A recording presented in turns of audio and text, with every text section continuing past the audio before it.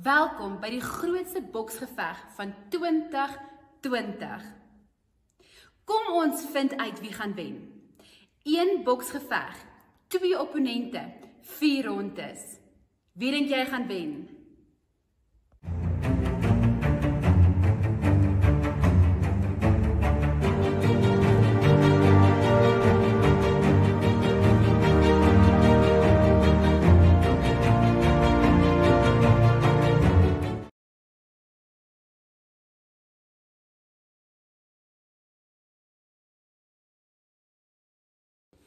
Ronde 2.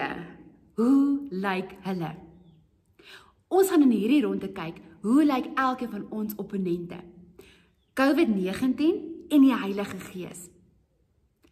Die slim mense sê COVID-19 lyk iets soos dit.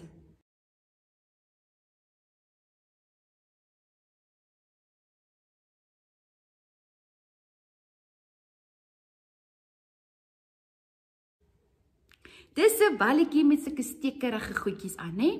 Dit is sommer vir my baie vreemd. Maar hoe lyk die Heilige Gees?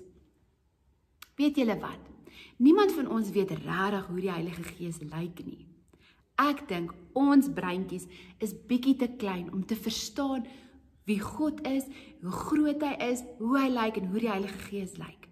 Maar gelukkig In die Bybel gee God vir ons 'n paar prentjies oor hoe ons aan die Heilige Gees kan dink. En ek wil 3 van daai prentjies, net 3, wil ek vir oggend met jou deel. Die eerste prentjie lees ons al van in die Ou Testament. In die Ou Testament het hulle gesê die Gees van God is soos 'n wind. Hoe cool is dit, nê? Ons sien nie wind waai nie, maar ons sien die blare waai. Ons sien die effek wat wind het en is so met die Heilige Gees. En daai woordjie wind, nê, beteken die asem van God. Hoe cool is dit? Wanneer ons die Heilige Gees ontvang, is dit eintlik God wat sy asem in ons inblaas. Dit is baie cool. Maar weet julle wat? Wind kan ook beweeg, want wind is lewendig, nê? Daarom is die Heilige Gees ook lewendig en kan die Heilige Gees in ons lewe beweeg. Dit werk in ons lewe. Die tweede prentjie wat ons kan aandink vir die Heilige Gees, kry ons in Lukas 3. In Lukas 3 word Jesus gedoop. Ja, Jesus is net soos ek en jy gedoop. En toe Jesus uit die water uit opkom met sy doop, toe is daar 'n stem wat praat uit die hemel uit en dit sê: Jy is my geliefde seun oor jou verheug ek my. Dit was God self wat uit die hemel uitgesê het, Jesus is my seun en oor hom is ek bly. Maar terwyl dit gebeur, kom daar 'n duif uit die hemel uit, 'n spierwit duif en dit kom sit op Jesus se skouer. En daai duif wat op Jesus se skouer kom sit het, was die Heilige Gees. Het jy geweet dat 'n wit duif 'n teken is van vrede? Daai prentjie van 'n wit duif laat ons aan vrede dink. En dit is wat die Heilige Gees in ons lewe kom doen. Die Heilige Gees kom gee vir ons vrede. Nou wat is vrede? Vrede is 'n gevoel wat ons kry van rustigheid. Wanneer ons kan sê dat die goed wat ons bekommerd maak, waaroor ek en jy worry, is kleiner as God. God is groter as die goedjies wat ons bekommerd maak. En God kan daai goed wat ons bekommerd maak, sommer net so wegvat. Ons kan nie dit vir iemand verduidelik nie, ons kan nie dit beskryf nie. Dis net 'n gevoel van rustigheid wat ons in ons hartjies kry. En ons weet God is in beheer. Die derde prentjie wat ons skryf vir die Heilige Gees, lees ons van in Handelinge 2. Onthou julle, ons het die vorige keer bietjie gesels oor Jesus wat opgevaar het hemel toe en nou by God bly. En terwyl hy daar is, maak hy 'n plekkie reg vir my en vir jou, sodat ek en jy ook eendag by God kan bly. Maar God wou nie gehad het ons moet alleen wees nie.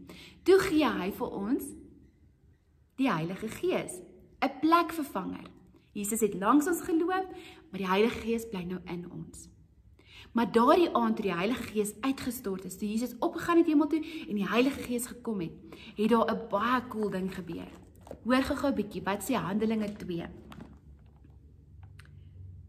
Hulle was almal in een kamer gewees en vers 2 sê: Skielik was daar 'n geluid uit die hemel, soos 'n geweldige stormwind, stormwind, Heilige Gees. En dit het die hele vertrek gevul waar hulle gesit het.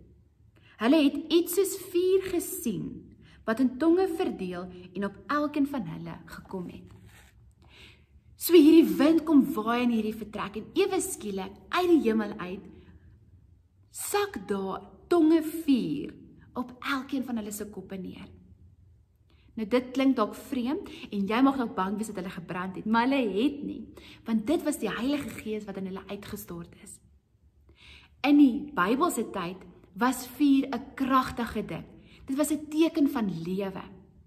En dit vir my en vir jou beteken dat die Heilige Gees kragtig is in ons. Dat hy nie 'n swakkeling is nie, maar dat hy kragtig en sterk is in my en jou. Maar weet julle wat in vuur ook? Het jy geweet as jy ystererts, nê, daai klip waar binne yster is, in vuur sit, dan smel die rots sommer weg en dan bly die yster oor. En dit is wat die Heilige Gees in ons lewe ook kom doen. Die Heilige Gees kom brand al ons sondes, al die lelike goeders in ons hartjies weg, dat net die mooi goed, die goed wat van God afkom, in ons lewe kan oorbly. Hoe amazing is dit, nê? Hierdie drie prentjies van die Heilige Gees verduidelik sommer vir ons wat die Heilige Gees in ons lewe doen. Die Heilige Gees gee vir ons 'n prentjie van wind wat beweeg met die asem van God is in ons lewe. Dit kan ook soos 'n duif wees, nê, wat vir ons vrede gee. Maar dan kan ons dink aan die Heilige Gees ook as 'n vuur, iets wat kragtig is, maar wat ook ons lewe reinig, ons lewe kom skoon maak sodat ek en jy skoon kan wees voor God. Wie dink jy het die knockout punch geslaan? Wie dink jy was die wenner van ronde 2?